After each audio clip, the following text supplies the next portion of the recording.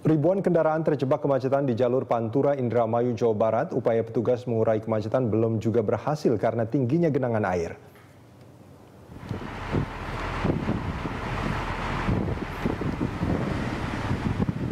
Antrian kendaraan mengular hingga 35 km di Kecamatan Kertasmaya hingga Sukra Indramayu, Jawa Barat. Arus lalu lintas di Pantura lumpuh total sejak dua hari. Kemacetan diperparah dengan meningkatnya volume kendaraan yang melintas di jalur. Ribuan sopir terjebak kemacetan selama dua hari.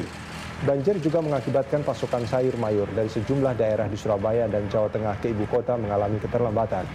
Banjir disebabkan meluapnya sungai Ciajaran di Loh Bener, Indramayu.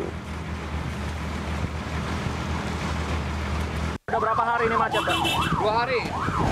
Sekarang masih belum selesai? Iya, belum. Ini Bapak bawa angkutan apa, Pak? Paket, paket kos.